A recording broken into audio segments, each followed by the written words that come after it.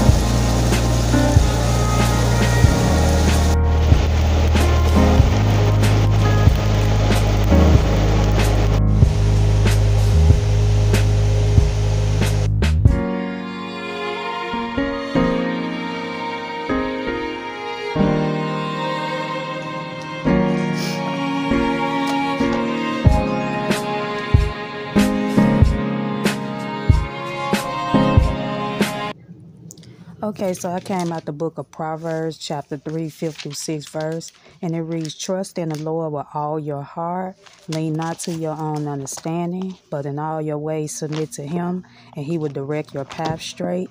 And it's a very familiar um, scripture for me. I was directed by this scripture a couple years ago because there was some things in life that I just couldn't understand or, you know, just was wondering why, you know, things was happening. So, yeah, this is a very familiar sh- chapter for me, and I also read it when I feel like, you know, when I have doubts about certain stuff. So I always continue to direct my paths back into reading it. But yeah, um, and I actually end up re- reading the whole chapter three off camera. But yeah, very familiar ch- chapter, very familiar scripture. And then one thing I like about Proverbs, it talks a lot about wisdom and knowledge.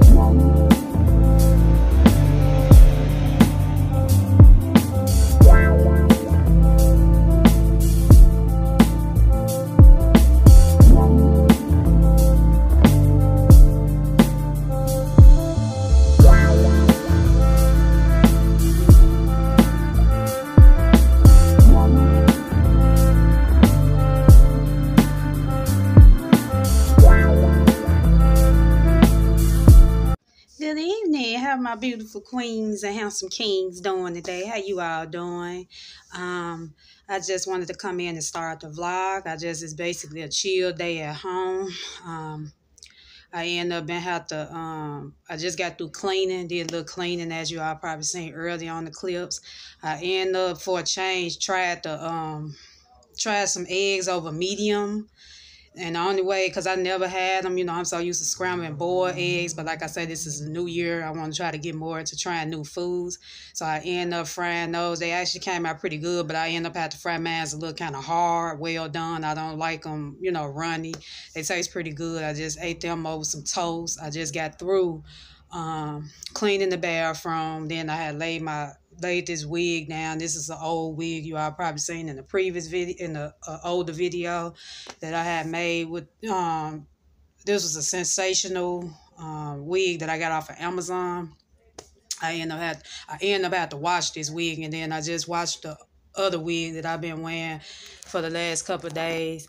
Um, I end up having to wash my hair yesterday because it's really irritated. I think when I go to make me a doctor's appointment for this year, because I do need to schedule one, I'm gonna have to try to see if they can prescribe when I do go wear my wig, so I can be able to take it off, or they can look at my scalp and see if there's a way where they can prescribe me some type of shampoo and ointment that I can use. You know that I can um, probably buy over the counter, like at a um, Walgreens or something like that, because my hair just really been irritating. It's so brittle and dry. So before I had laid this wig, I had oiled it.